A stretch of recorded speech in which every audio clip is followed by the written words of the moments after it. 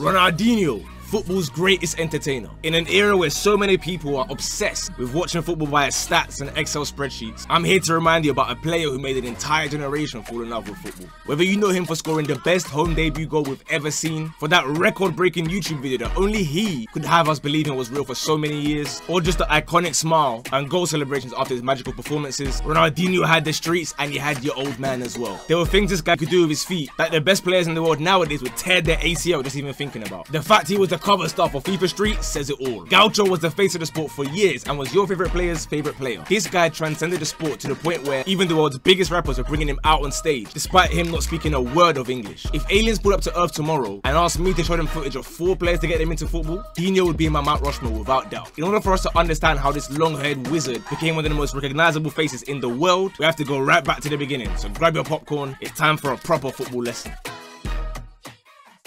Ronaldinho, or Ronaldo de Assis Moreira as he was known back then, was born in March 1980. His family led a relatively humble life in Porto Alegre, Brazil, and it wasn't until his older brother Roberto joined Gremio that they were able to move to a more affluent and safer area. Unfortunately, his father passed when he was just 8 years old, and little Gaucho wanted nothing more than to become like his older brother. He joined in all the youth club matches on the beach and in the cages, and was quickly given the inho at the end of his name to show just how good this small kid was. Even in futsal games, it was clear that this dude was just a level above the rest. The Brazilian media began to take notice when this freak scored all 23 goals in a 23-0 win before showing his talents on an even bigger stage at the 1997 Under-17 World Cup with an assist in the final against my country Ghana. Gremio gave him the platform to keep cooking after his 1998 Copa Libertadores debut, with his 22 goals the following year elevating him to potential generational levels. He was already a big game player and he loved the derby against Internacional. If guys weren't familiar with his game by now, him leaving 1994 World Cup winning captain Dunga folded like an ironing board on multiple occasions should be enough. After his 58 goals in 125 games led them to a Copa Sul and Campeonato Gaucho trophy double in 1999, his phone was now on blast from European powerhouses desperate to sign him, especially after he joined up with Brazil's main squad to win the Copa America that same year. Arsenal tried but they failed to get him a work permit, and somehow St. Mirren missed out after a fake passport scandal ended their hopes. Either way, the Gremio Ultras had accepted that their superstar was on his way out.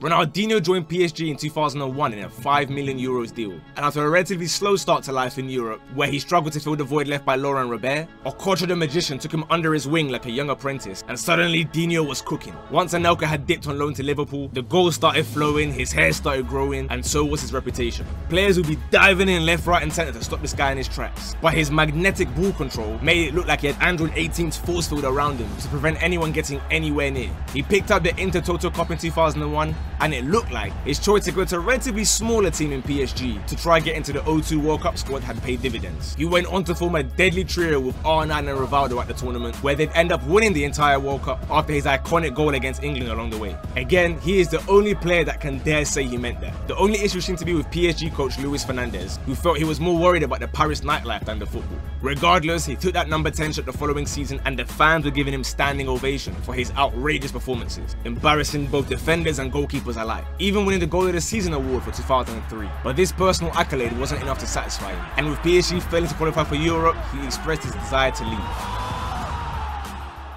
With Real Madrid entering their Galacticos era, Barcelona's Laporta needed to fight back promising that they will sign either Beckham, Henry, or Ronaldinho. United fought valiantly to persuade Ronaldinho to join them, but the Manchester nightlife clearly didn't move Ronaldinho, and he signed for Barca. Unlike the PSG move, this is one that hit the ground running like a 100 meter sprinter. To pick the ball up in your own half, dribble past brothers like they're cones, and then lash it in off the bar from 35 yards is an astonishing way to announce yourself to your new home fans. His momentum was sadly halted by an injury that saw Barca slip to 12th in the league during his absence. But upon his return, he catapulted them back up to second with his 15 league goals. He even got the assist for Xavi that saw them win at the Bernabeu for the first time in 7 years. It was a sign of things to come as they'd win the league title the following year and Ronaldinho was now collecting iconic moments in the Champions League that had his own teammates saying they'd got their joy back.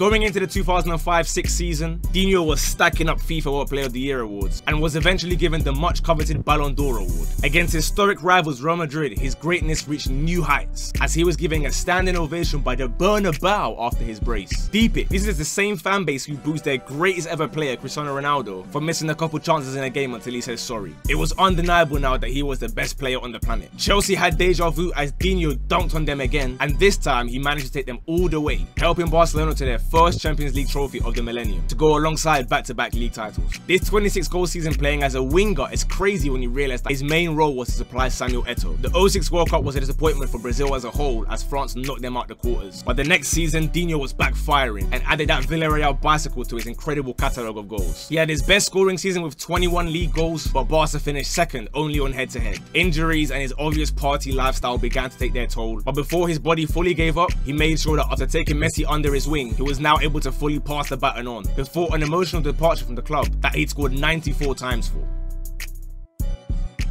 No matter his physical condition, Ronaldinho being available would have everyone on red alert. City tried their hardest to make him their poster boy after their recent takeover, but in the end he opted to join Milan, where he had the adulation of the fans pretty quickly after scoring in a 1-0 win over their great rivals Inter. His magic was there for all to see, but his fluctuating weight made it difficult for him to show it consistently. He still bagged a respectable 10 goals for Milan playing in the 10, and when Ancelotti left in the summer, he was shifted back out wide in a 4-3-3 under Leonardo. Now he was picking up braces and even scoring a hat-trick to remind guys that form is temporary, class is permanent. That year, he'd finished as the top assister in the entire Serie A. And as always, Ronaldinho's performances were more than just the numbers. Trophies were obviously a massive motivator for Dinho, but fans leaving stadiums with smiles on their faces ranked very high in his list of priorities too. With that number 80 on his back for his year of birth, he was still cooking defenders in a league that was known for years as the most defensive in Europe. And yet, despite his desperation to make it, he wasn't picked for that 2010 World Cup squad. The 2010-11 season started off with him racking up assist after assist, now playing alongside Zlatan and Robinho as Milan went on to win the league, but he wasn't actually there to pick up his medal after being involved in yet another transfer saga that January.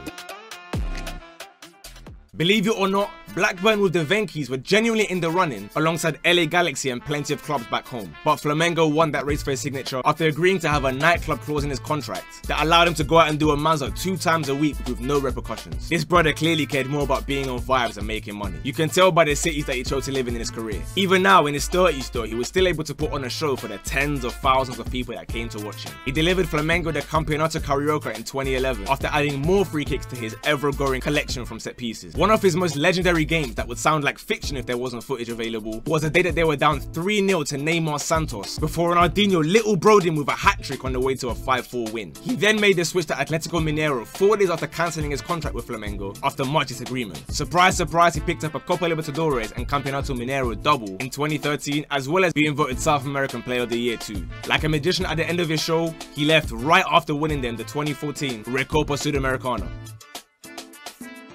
Ronaldinho's world tour for vibes now had him picking between India and Basingstoke Town in the English Conference, but he opted for a two-year deal with Mexican side Querétaro in 2014. The free kicks were still flying in the same way they did 10 years earlier, and he relived that same standing ovation feeling he had a decade earlier too, after his performance away at title holders Club America at the Estadio Azteca. Despite not winning any silverware, he built a wonderful connection with the fans, before leaving at the age of 35 for one last hurrah with Fluminense. After just 9 appearances, he himself realized that his body just wasn't up for it anymore, and he didn't want to cheat the fans, so he terminated his own deal to finally bring the curtains down on a legendary career for both club and country. So many players fell in love with the sport just because of him alone, no matter what team they ended up supporting. He could rock them same baggy clothes for 20 years and get away with it. I mean, this guy even went to prison for that fake passport scandal and still, we don't care because he's Ronaldinho. He wasn't there to be a robotic efficiency machine like some forwards today. I'm sure you all knew who he was already, but if you learned something new today, leave a like on the video, comment if he gets into an all-time best players 11, and subscribe for new lessons every Monday. Class dismissed. Bosh.